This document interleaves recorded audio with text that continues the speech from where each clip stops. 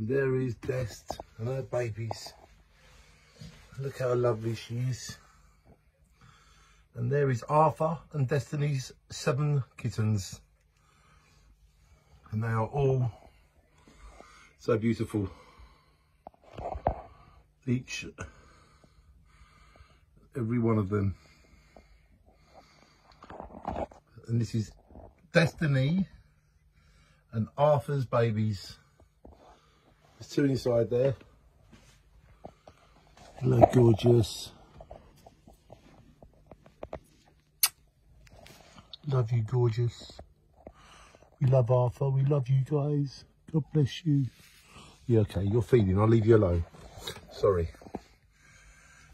You want to be left in peace. I don't blame you.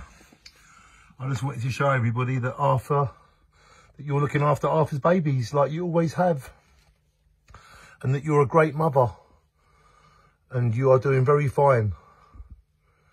And we are looking after you and you're looking after us. We've got homes for all your kittens. They've all got homes already. If we had, if we had a thousand kittens, we could find a home for each one because we love, people love us and we love them and we know real good people and they know us. And Arthur, rest in peace. He has seven little babies up here and it's so nice to get closer to them. And now, more than ever, we're going to shine Arthur on.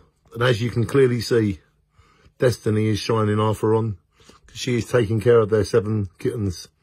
And she's already done, this is the second litter this year. She already done four kittens earlier this year. And a neighbour across the road, yeah, he had four kittens with her as well. So as far as we're aware, Arthur is a father to 19 cats at least. 19 babies Arthur had, has, and we've got seven of them right now.